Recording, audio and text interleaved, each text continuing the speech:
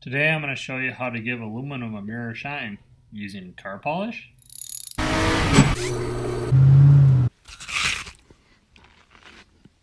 So today I'm going to do an experiment to see if Meguiar's M105 and 205 car polish will polish aluminum. And the reason I'm doing this is I have some valve covers that are scratched up and I wanted to first try it on a scrap piece of aluminum to see what would happen. So my test piece is just a scrap piece of 6061 aluminum that we're just going to mask off, put some compound on, and see what happens.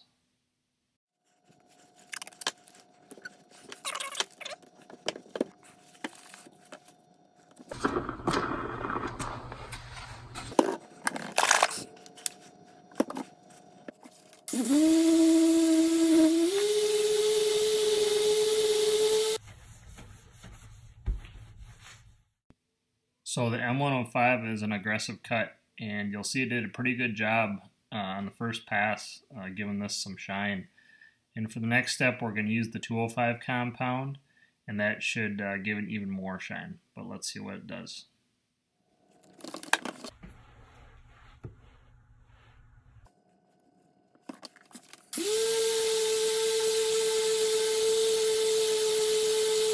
So the 205 did a pretty good job, but I'm not really seeing a big difference from the 105.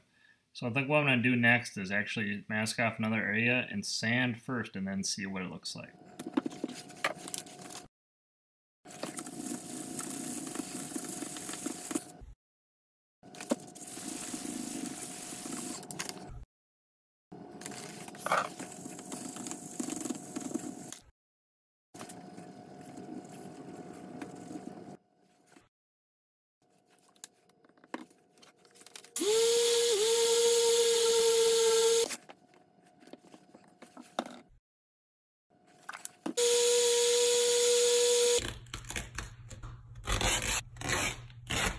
The sanded sample definitely looks better than the unsanded. And I think that's because there's nicks and valleys that you get rid of that were left behind from the forming process. So if you're going to go this route, definitely sand it first. Uh, this image too, it shows it even a little better with the blurriness from the, the raw material artifacts left behind. So the test shows that the car polish does indeed clean up aluminum quite nicely. So why don't you leave me a comment and let me know what you think, and thanks for watching.